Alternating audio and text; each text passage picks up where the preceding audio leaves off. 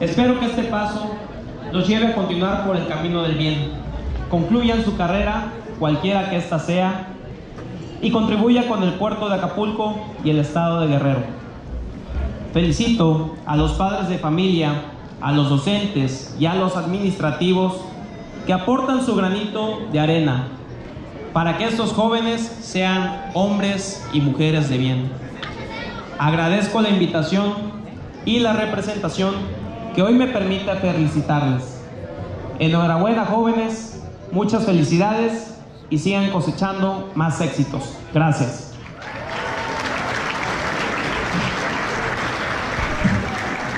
Muy bien, le pido a todos los presentes se pongan de pie, por favor, vamos a hacer el cierre de clausura.